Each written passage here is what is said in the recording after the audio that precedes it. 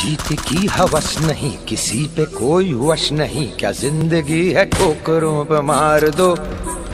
मौत अंत है नहीं तो मौत से भी क्यों डरे? ये जाके आसमान में दहाड़ दो।